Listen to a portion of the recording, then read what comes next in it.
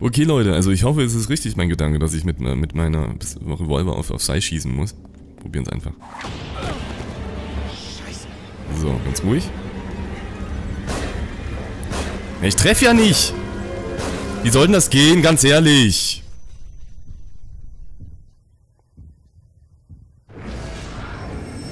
Da muss ich auf irgendwas anderes schießen. Nicht auf das Seil. Ich setze einen kleinen Cut, wir sehen uns, wenn ich wieder an der Stelle bin. Bis gleich. Oh, Ruben vermisst. Ruben Victoriano, geliebter Sohn der wohlhabenden Familie Victoriano, ist seit dem Brand auf dem Familienanwesen verschwunden. Hm. Okay, cool. So. Bin ich ja auf dem Holzweg mit dem Gedanken, dass ich auf das Seil schießen muss? Muss ich Vielleicht kann auch sein, dass ich da irgendwas äh, an dieser Falle äh, da irgendwie drauf zielen sollte. Um das zu deaktivieren. Das wäre die zweite Möglichkeit. Ich weiß es wirklich nicht, Leute. Nervt mich gerade ein bisschen. Weil das Seil treffen ist, ist irgendwie fast nicht möglich. Dann habe ich hier gespeichert. Ja, das Fragment kann ich ja noch später noch aufheben.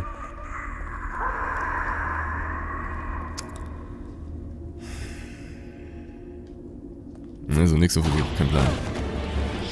So, ich mache jetzt mal Pause hier. Moment.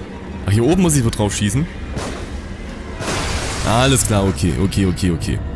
Also doch auf die rote leuchtende Lampe. Weiß ich nicht, also... Das mein, also ich finde meinen Gedanken logischer, das Seil wegzuschießen, als ähm, die Vorrichtung mit einem Revolverschuss deaktivieren zu können. Aber na gut, es hat jetzt so funktioniert. Alles klar. So, jetzt können wir das Fragment auch aufheben. Oh, in der Toilette wieder. ja. Ich gucke jetzt in den Schrank jetzt hier mal rein. Ist ja nicht gar niemand. Außer die ist jetzt, außer die ist jetzt rechts von mir. ja, weil vorhin klar ist nämlich so, als ob da jemand im Schrank ist und wollte ich da nicht reingehen. Ach, guck mal einer an. Hier ist auch noch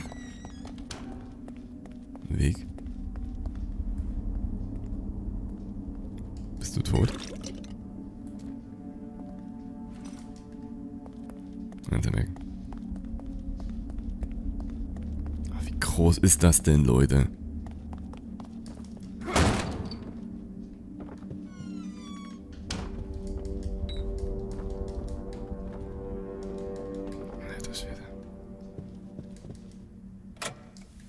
Stimulation der kortikalen Region mit maximaler Ja, ja, das dachte ich mir. Da sah nämlich so aus, aber ich habe nicht rechtzeitig reagiert. Die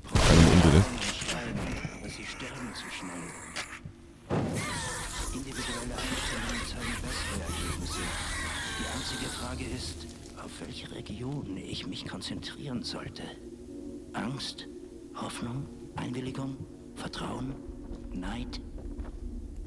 Drei davon sind von zentraler Bedeutung. Nee, dass ich das Messer nicht aufheben kann. Ah! Ah, nee. Fuck.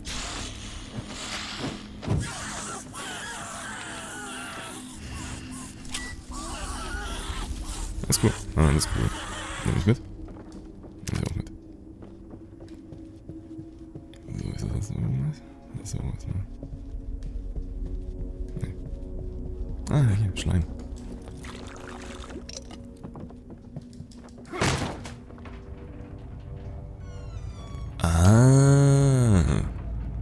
Schließt sich der Kreis. Da können wir jetzt hier auch wieder zurücklaufen, weil wir haben ja da noch nicht alles gesehen.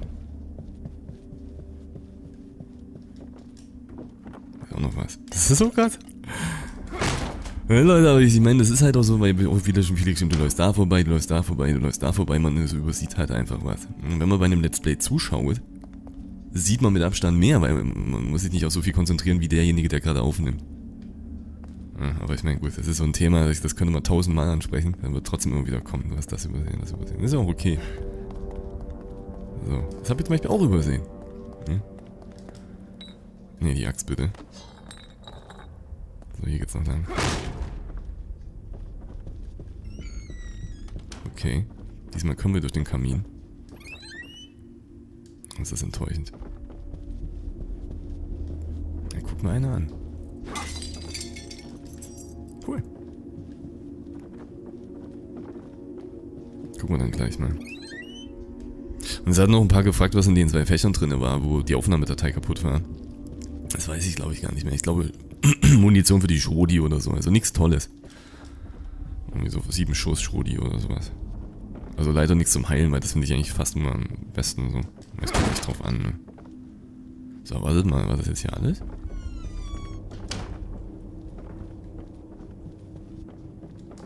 Weil dann gehen uns jetzt hier langsam die Wege aus und ich habe immer noch keinen Code für den Tresor. Ach ja, hier geht's lang, stimmt. Ja, war ja was. Sehr gut. Können wir gleich mal benutzen eigentlich. Zwei Stück muss man jetzt haben. Könnten auch warten, bis unser Leben ganz weit unten ist und dann den Koffer nehmen. Ja, auch eine Möglichkeit, aber uns erstmal voll. Na, ist er gekrabbelt? Na gut, dann weiter. Haben wir erstmal eine Axt. Mit der Axt fühle ich mich immer ein bisschen besser.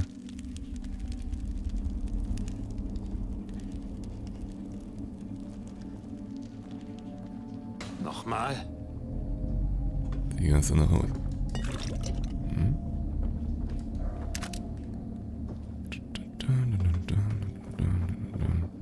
Dann hoffe ich, dass er jetzt hier erstmal speichert. Und bitte sag jetzt mal den Code für den. Proband Nummer 12. Test 71b. Elektronenplatzierung A2. Das ist ekliger. Noch ekliger Stimulation fast. der. Amygdala, Ursprung der Emotionen und Erinnerungen, das Angstzentrum. Nein. Bitte, bitte nicht. Er zwinkert noch. Guck mal. Proband fühlt nun wie ich. Doch dieses Gefäß ist viel zu schwach, um die seelische Belastung zu überstehen, die ich täglich erfahre. Na dann.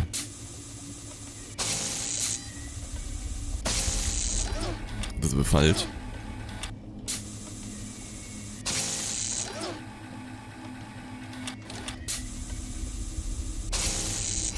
Wo muss ich denn hinschießen? Mir macht das keinen Spaß. Hier oben. Ich muss das Angstzentrum treffen, glaube ich. Ich habe aber Vor allem ich verliere jedes Mal Leben, sehe ich gerade. Proband Nummer 12. Test 71b. Elektronenplatzierung A2. Stimulation der Amygdala, Ursprung der Emotionen und Erinnerungen, das Angstzentrum. Diese Linie hier ziehen oder was? Bitte, bitte nicht. Nein, nein, nein. Proband fühlt nun wie ich. Doch dieses Gefäß ist viel zu schwach, um die seelische Belastung zu überstehen, die ich täglich erfahre. Das macht mich gerade stinksauer hier. Hier ist bestimmt irgendwo ein Hinweis, oder? Hilft mir nicht, da kenne ich nichts dran. Muss irgendwo ein Hinweis sein, wo ich hinziehen muss.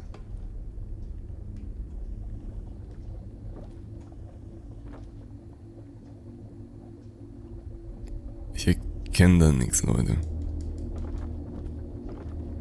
Fuck.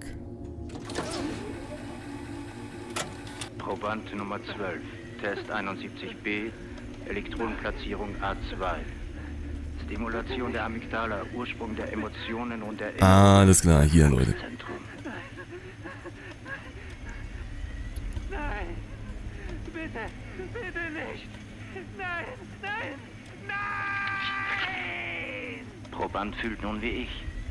Doch dieses Gefäß ist viel zu schwach, um die seelische Belastung zu überstehen, die ich täglich erfahre. Äh, Ich muss das Angstzentrum treffen, so wie ich das sehe. Also hinten das rote. Oder?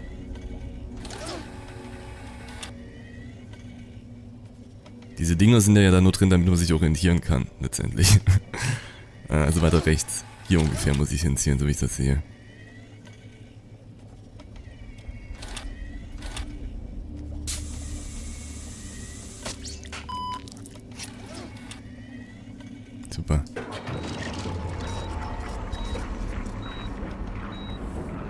Tut mir echt leid, dass ich da jetzt auch vorbeigeschossen habe. Wisst ihr was? Wollen wir? Nö, wir können noch ein bisschen Leben verlieren. Hat er gerade gespeichert. Ein, zweimal dürfen wir noch getroffen werden. So, das hätten wir auch. Ich bin jetzt langsam, äh, ich bin jetzt nur irritiert. Weil wir brauchen nur diesen verdammten Zahlencode. Für den Tresor. Und bislang habe ich nichts gefunden und ich habe jetzt, glaube ich, alles abgesucht. Aber egal, wir gehen jetzt erstmal zu dem Tor zurück und gucken mal. Ansonsten muss ich probieren.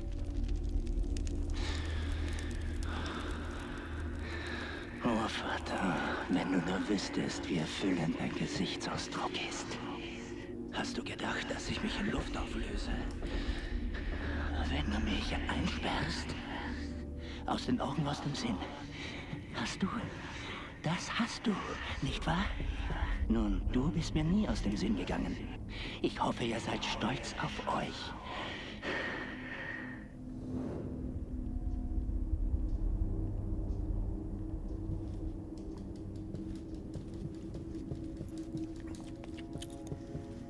Okay.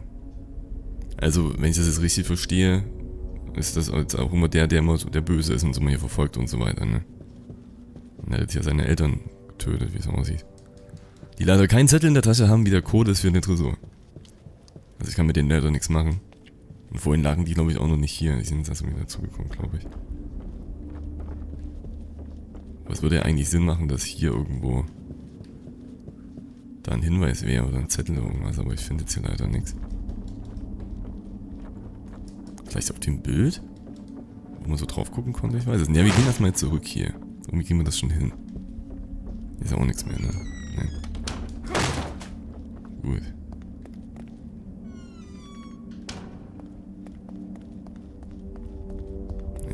Den Weg hier.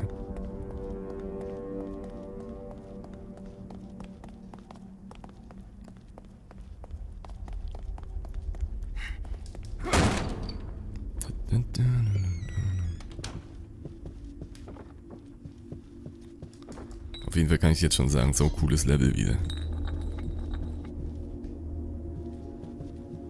So, eigentlich haben wir hier alles abgesucht. Denke ich. Zumindest. Dann die Runde.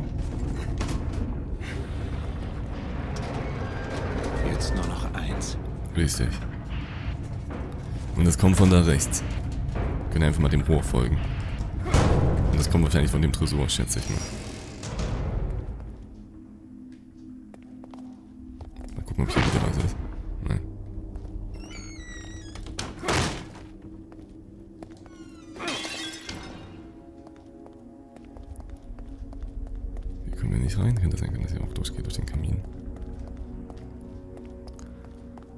über den Flügel machen wir das. Ich bin mir ziemlich sicher, dass wir das über den Tresor dann lösen.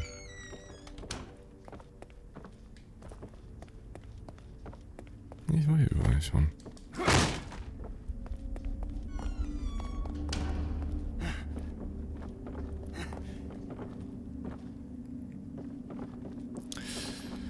Also rein theoretisch müsste man ja meinen, dass der Hinweis für den Zahlencode den Tresor hier irgendwo ist.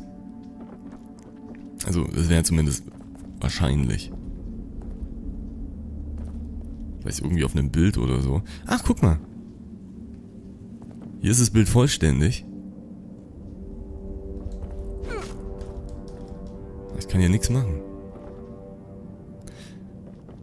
Kann man das nicht irgendwie abreißen oder so und dann steht dahinter der Zahlencode, keine Ahnung. Ich hau jetzt das erstmal jetzt hier rein. Ich kann das jetzt hier nicht. Ich müsste ewig rumprobieren. Das würde ewig dauern. Das kann es nicht sein. Es hat irgendwas mit dem Bild zu tun. Das ist ja, guck mal, das ist ja auch durchgeschnitten. Aber hier ist die untere Hälfte, bei dem anderen ist er nicht.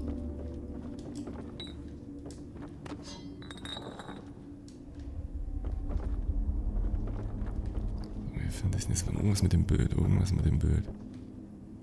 Aber ich konnte ja auch nichts machen, ich konnte es nicht abreißen und gar nichts. Ich würde trotzdem nochmal zu dem Bild zurückgehen.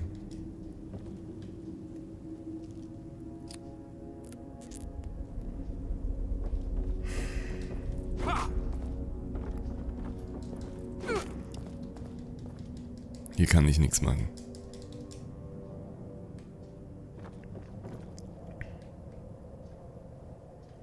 Okay, Leute, ich gehe nochmal zurück. Äh, die Leiter hoch und dann, wo man auf das Bild gucken konnte. Vielleicht können wir jetzt irgendwas machen, ich kann es mir aber eigentlich nicht vorstellen.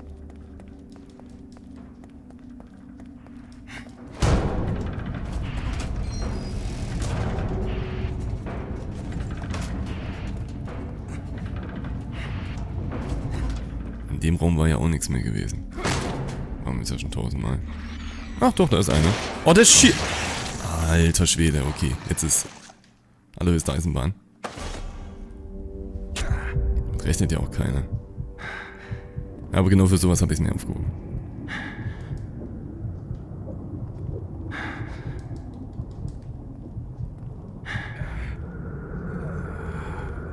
Guck mal hier, hier ist die Familie, Leute. Und da links haben wir äh, sozusagen den, der uns ständig jetzt verfolgt. Wenn ich das richtig verstanden habe. Hat die eine Sonnenblume in der Hand? Kann sein, ne?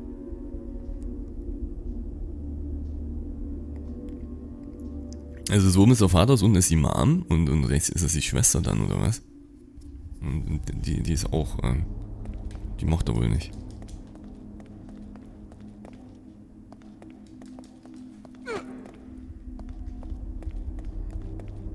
Hier, guckt mal.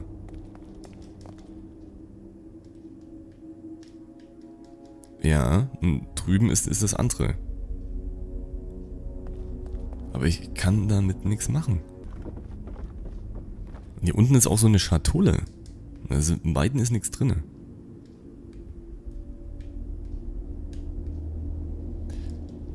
Achso, das wäre vielleicht mal eine Option gewesen, dass ich da auch mal nach... Moment mal eben. Kann ich mich hier noch umgucken zufällig? Ich kann mich nicht mal umschauen. Okay, Leute. Ähm, kein Plan. Das Ding ist, ich kann ja auch überhaupt nichts machen, wenn ich auf die Bilder schaue oder so. Und ich kann mich ja nicht mal umgucken. Äh, ich werde jetzt einfach wieder in den Raum gehen mit dem äh, Wandsafe und äh, werde einfach nach so lange probieren, bis ich es hinbekommen habe. Ich überlege gerade, ob das smart clever ist. Und, also, ich, ich weiß nicht, also ich gehe mal davon aus, dass man irgendwo den Code findet. Eventuell das mit was mit den Bildern zu tun haben könnte. Aber ähm, ich, ich äh, wüsste nicht wie. Auf jeden Fall kriegen wir über diesen Safe, dann äh, kommen wir irgendwie wahrscheinlich zu dem dritten Gehirn. Da sieht man ja schon drei Bohr hier. Wir gucken mal. Wenn ich jetzt merke, das dauert zu lange, dann arbeite ich wieder mit Cuts, okay? Das halt voll strange, weil hier ist das Bild komplett und, und ansonsten ist es immer so geteilt.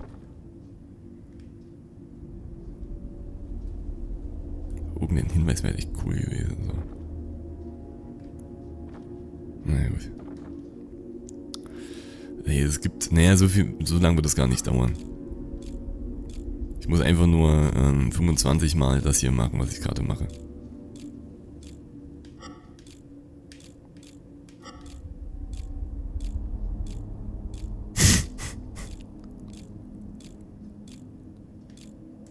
ich kann ja sonst nichts anderes machen, so. 3. Und ich setze mal einen Cut jetzt, bis es klappt, okay?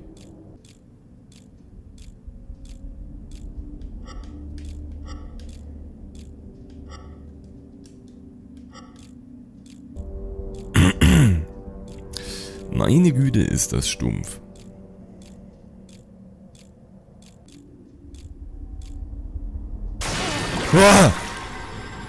Okay, ich hab's gefunden, den Code.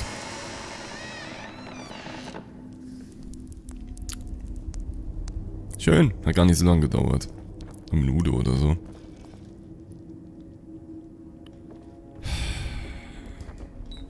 Hätte ich mal so erschrecken müssen. Na gut, Leute. Dann auf, auf zum dritten Gehirn.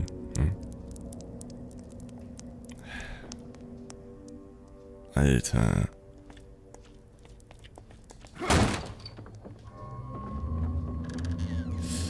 So, okay, und da ist auch wieder die Anleitung, wunderbar.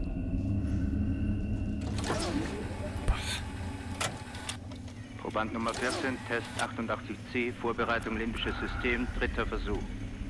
Elektrodenplatzierung C4, Stimulation des singulären Kortex, Zentrum der Hoffnung.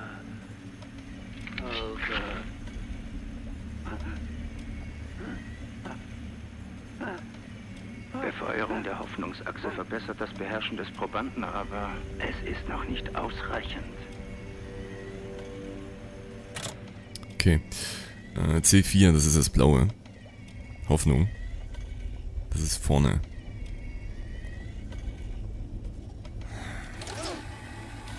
Aber ist das schon korrekt oder was? Nee, ist noch nicht korrekt. Ist zu weit unten, wie ich das sehe.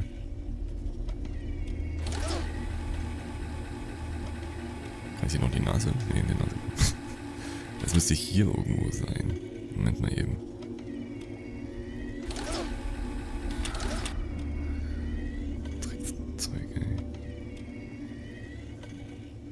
Würde sagen ungefähr hier. Da.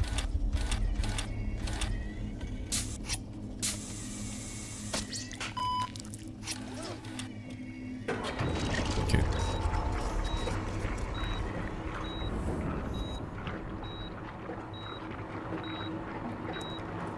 Fall mal erstmal gespeichert.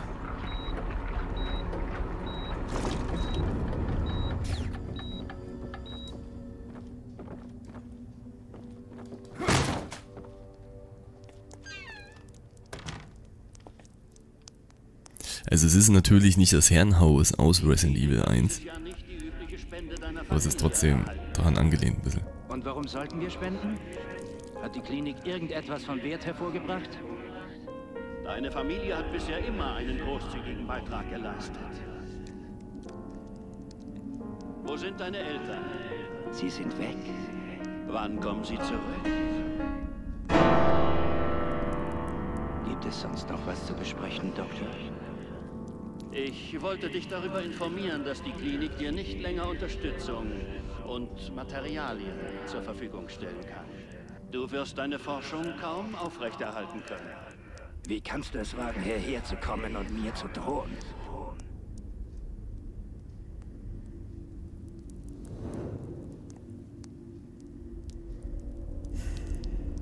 Okay. So, eine krasse Entwickl Entwicklung irgendwie, wenn man das vergleicht äh, mit dem ersten Gespräch vor allem. Im ersten hat er sich selber irgendwie noch für ein Monster irgendwie gehalten, hat Zuspruch vom Doktor bekommen. Und jetzt? Ja, und die Eltern, ne? Wo sind sie wohl? Wir wissen es ja. So gut, Leute, machen wir zurück zur Tür. Jetzt müsste ja aufgehen.